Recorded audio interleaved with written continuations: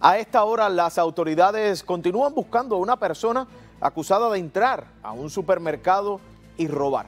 Mi colega Gina Romero, como siempre, tiene todos los detalles y las imágenes de seguridad y se une en directo. Gina, adelante, muy buenas tardes.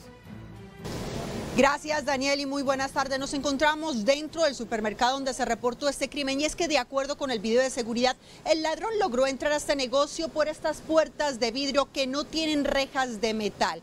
¿Y qué se llevó? La caja registradora que contenía dinero en efectivo y también varios objetos electrónicos. Veamos. Un hombre está siendo buscado por la policía de Miami después que entrara a un supermercado para robar. El sujeto, como lo muestra un video de seguridad, rompió una de las puertas de vidrio del negocio y después se dirigió al lugar donde se encontraban las cajas registradoras. Una de las empleadas que lleva casi una década trabajando en el pequeño mercado que vende productos del Brasil, señaló que hace 10 años habían entrado a robar comida, pero esta vez el ladrón se llevó la caja registradora. Pues muy triste de llegar al trabajo, al negocio y de parar con todo vandalizado. No es nada agradable.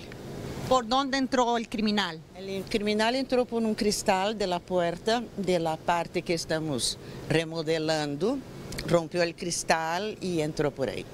¿Qué se logró llevar? Llevó, eh, afortunadamente, muy poca cosa. Llevó la caja 2 con poco dinero, la cajita de cambio, y celulares, iPad. Afortunadamente la pérdida no fue muy grande.